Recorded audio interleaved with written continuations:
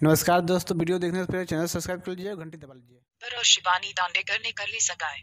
इन दिनों बॉलीवुड के कई स्टार्स अपनी शादीशुदा लाइफ खत्म होने के बाद मौजूदा रिलेशनशिप स्टेटस को लेकर खबरों में हैं। बता दें कि ऐसा ही एक कपल है, फरहान अख्तर और शिवानी दांडेकर का, जो अक्सर अपने अफेयर की वजह से सुर्खियों में छाए रहते हैं। अब चर्चा उनकी सगाई को लेकर हो रही है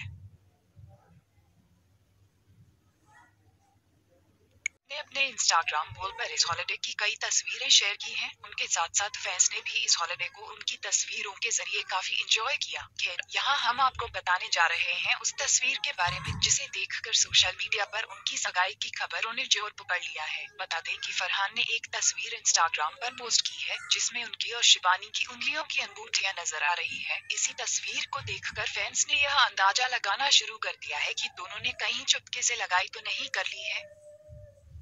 यहाँ हम आपको यह भी याद दिला दें कि दोनों के रिश्ते को अब एक साल हो चुका है और मैक्सिको हॉलिडे पर उन्होंने इसका जश्न भी मनाया। इस मौके पर दोनों ने एक तस्वीर अपने सोशल मीडिया पर शेयर की, जिसमें लिखा था 365 यानी तीन सौ पैंसठ दिन पूरे। दोनों ने भले अपने रिश्ते को लेकर अभी तक कुछ भी न कहा हो, लेकिन इनकी तस्वीरें इनके रिश्ते के बारे में काफ़ी कुछ बयां करती हैं।